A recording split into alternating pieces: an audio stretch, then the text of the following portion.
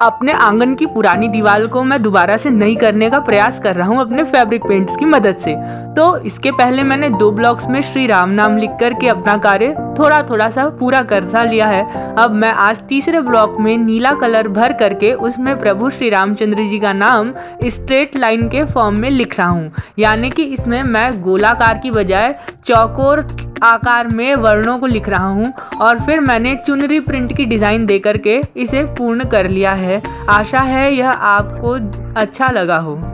Jai Shri Ram, Siya Ram.